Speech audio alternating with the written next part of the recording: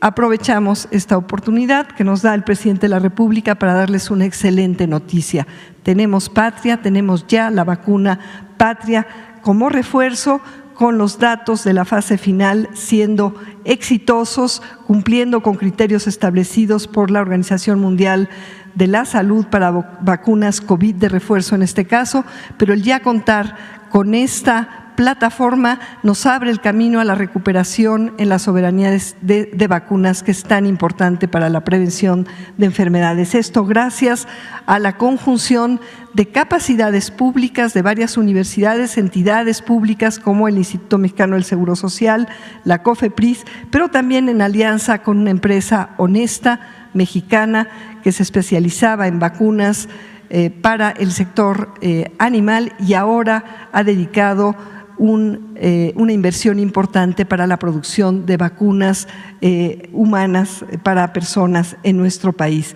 Y además lo importante es que esta alianza no solamente va a generar esta soberanía tecnológica en vacunas, sino además la posibilidad de retorno de valor al pueblo de México a través de una alianza estratégica con Avimex. La que sigue.